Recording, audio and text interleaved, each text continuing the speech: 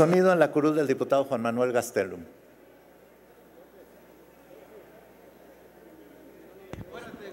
Señor presidente, con mucha pena me corresponde escuchar la sarta de mentiras en afectación a los ciudadanos mexicanos. Jamás, jamás el PAN aprobó la ley hacendaria fiscal de la que presentó el Ejecutivo y que fue avalada por muchos de ellos y por los de su partido. Señor presidente, no se vale este trato a los mexicanos.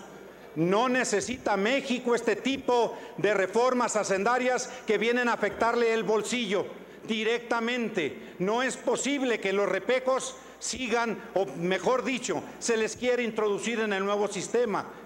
No van a poder cumplir. Entienda el gobierno federal. Esta es una situación de caray, Chihuahua, hombre.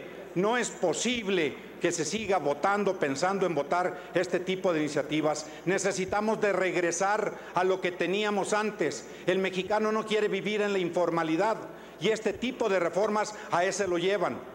A eso lo llevan a cometer el ilícito previsto en la propia normatividad aprobada por el PRI, por algunos del PRD que se la dan de pecho, de que son de izquierda y que apoyan al ciudadano. Mentiras que quede constancia, señor presidente, que quede en actas lo que aquí acabo de expresar. No se vale. Hay que decirle al ciudadano mexicano, estamos contigo como diputados. Por eso nos denostan, señor presidente. Por eso dicen que no servimos, porque no hacemos una normatividad apegada a la ciudadanía.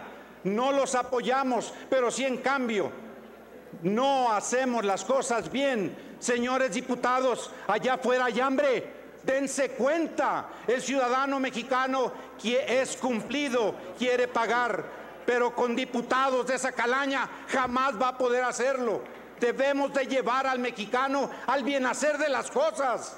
No hay más si no los ayudamos a hacer bien las cosas. Habrá estallidos sociales, habrá más inconformidad, abran los ojos, vayan a sus regiones, vayan a sus ciudades. Dense cuenta del hambre que padece el pueblo mexicano. Por favor, señor presidente, que consten actas. Y si algún diputado tiene alguna cuestión en contrario, lo haga por escrito, pero no esté hablando una sarta de barbaridades. Muchas gracias.